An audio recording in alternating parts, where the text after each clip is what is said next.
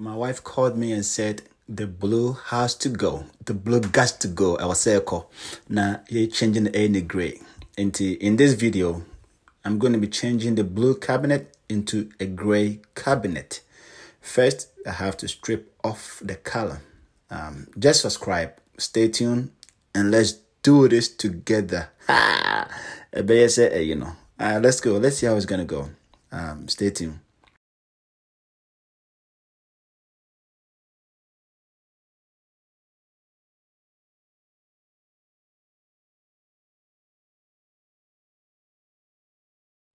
But before we go on, if you have not subscribed to the, my channel, please go ahead and do so.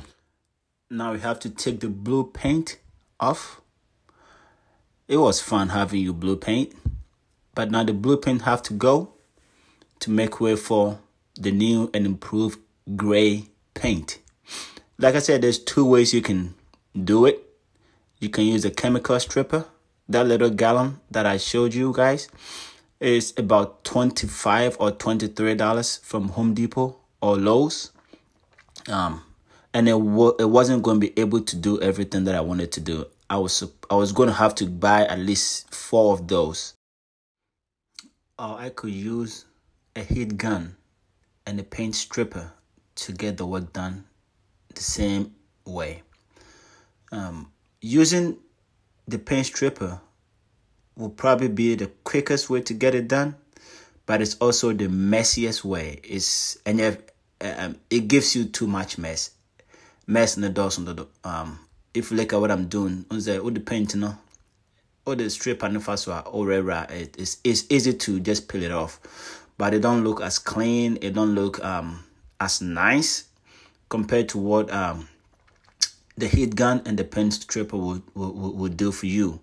Um, the stripping tool will do for you. So I prefer personally, I prefer the hard way. You know, I prefer the hard way because it makes it nicer. If you look at the side that I use the heat gun to do and the side that I use the chemical to do, um, there's difference. The other side looks cleaner. If you look at what I'm doing right now, it looks way cleaner compared to using the other one. Once the paint is all gone. The next step is to sand it down to make it look clean and smooth. You want that cleaner look. You don't want to just paint over it without clean, cleaning the excess um, paint and all that stuff off it. So you have to sand it down to make it look better.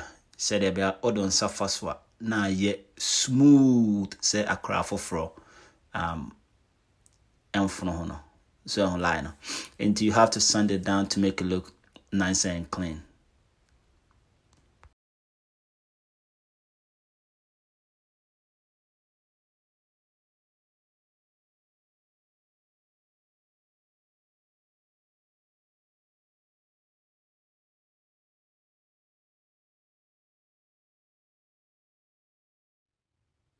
So, um, that part was for the door outside.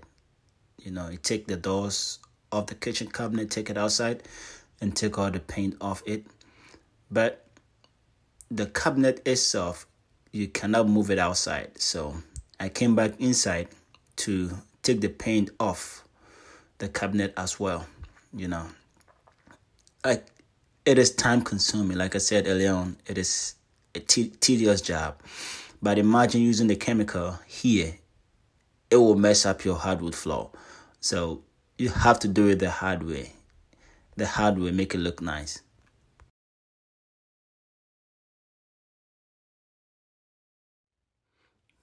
So I took the doors off, laid them down in the garage, took some of the paint off, and then the rest that I couldn't take the paint off or I felt tired, I just primed over it.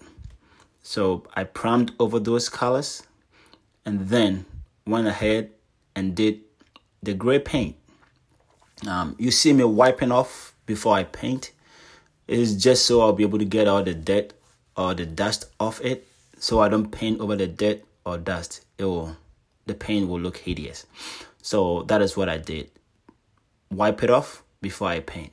I wipe off every time before I paint. Every section that I have to paint, I will wipe it down with a red rag that I have and then paint over it to make sure I don't paint over any dirt or any um, dust as you can see.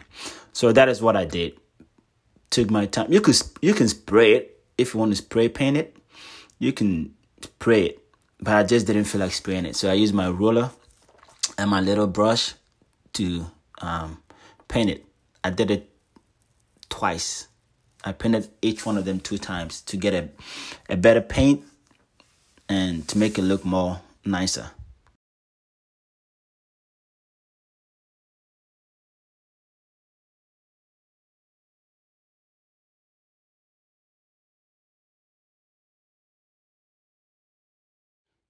After all this was the fun part.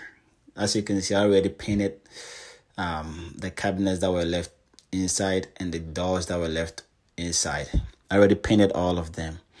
Um, so the, here comes the fun part. Installing the doors back. Yeah, the question dabre. Koshe tukrum. Until you bring the doors back, um, put the doors back on. Now you make sure you mark them where each one of them goes before you take them off. So I had to number mine so you don't get messed up because um they, I have doors that are the same sizes but they won't fit. You have to go to the exact same spot. Um, I could have or you can use a power tool to put them back, but it's not advisable. You know, the power tool go too fast and probably mess it up. So manual all day, every day. So I went the manual way, screwdriver, and just screw everything in it. So that is that is what I did. You know, take my time and do all that. Install all the doors one after the other. Make sure the handles are good to go. And then you'll be on the path to success to getting a nicer and a cleaner kitchen. Out with the old, new one comes inside. So gray is the color now. It makes it more spacious. It brings in more light and it looks more nicer than the blue that we used to have.